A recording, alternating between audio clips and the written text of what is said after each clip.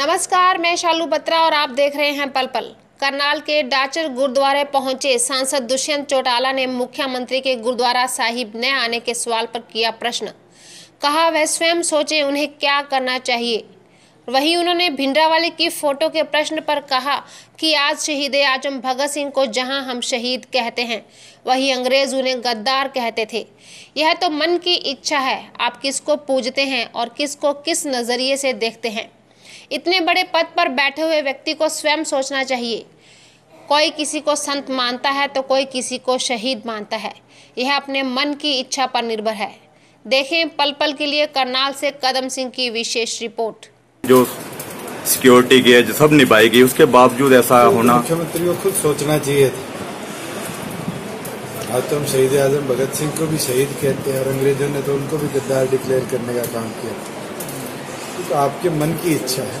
आप किसको पूछते हैं और किसको किस नज़रिए से देखने का काम है? तो व्यक्ति इतने बड़े पद पर बैठा है।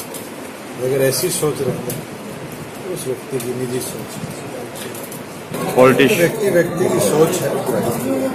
तो ये मानता हूँ कोई किसी को संत मानता है कोई किसी को शहीद मानता है और कोई किसी को कागज़ी बात करे। कुछ और भी सोचने का काम करे।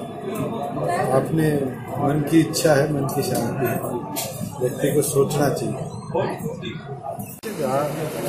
कोई भी धार्मिक संस्था ये पीछे की सामाजिक तौर पर अक्सर ज़िम्मेदारी बनती है वहाँ पर जाए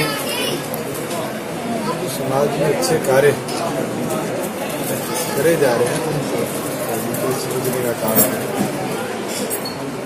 आज यहाँ पर ले जाने का काम किया। ये नॉन स्टॉप चौबीस घंटे बावन दिन जो पाठ चलता है। सतना ब्रह्मचार सतनाम भाई गुरु जी का।